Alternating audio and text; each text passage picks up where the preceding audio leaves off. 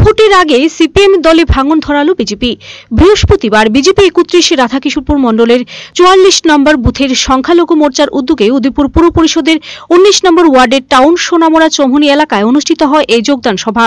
এদিন এই যোগদান সভায় উপস্থিত ছিলেন বিজেপি গোমতী জেলা সভাপতি অভিষেক দেব রায় উদয়পুর পুর পরিষদের প্রাক্তন পুরপিতা শীতলচন্দ্র মজুমদার, বিজেপি রাধাকিশোরপুর মণ্ডল সভাপতি প্রবীর দাস, সংখ্যালঘু মোর্চার গোমতী জেলা সভাপতি রফিক মিয়া, সংখ্যালঘু মোর্চার গোমতী জেলার প্রভারী কাকুন মিয়া প্রমুখ।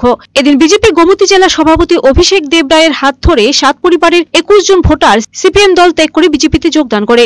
যোগদান সভায় বক্তব্য রাখতে গিয়ে বিগত বাম সরকারের বিভিন্ন কাজ নিয়ে তীব্র আক্রমণ করেন বিজেপি নেতৃত্ব। এরকম পুরপিতা বিগত দিনে পায়নি। উদয়পুরে যারা যারা পুরপিতা ছিলেন, তারা শুধু ইউএমসি অফিসে বসে থাকতেন, বাড়িতে যেতেন আর আসতেন। মানুষের সমস্যা সমস্যা নিয়ে মাঠে ঘাটে কথা বলা, বিভিন্ন জায়গায় যাওয়া, সেগুলোকে কীভাবে সমস্যা সমাধান করা যায়, এগুলো কিন্তু বিগত দিন দেখা যায়নি। বিগত দিনে যারা পার্টির নেতৃত্ব দিতেন, যারা এলসি সেক্রেটারি ছিলেন, করোনার সময় এখানকার মণ্ডলের প্রেসিডেন্ট যেভাবে প্রতিনিয়ত দিন রাত আপনাদের খোঁজ খবর রেখেছে একটা মানুষ যেন অভুক্ত না থাকে, হিন্দু হোক, মুসলিম হোক, যে কোনো মানুষ মানবতার টানে, এরকম ইতিহাস বিগত দিনেও আমরা দেখতে পাইনি যেটা এবার আমরা দেখেছি।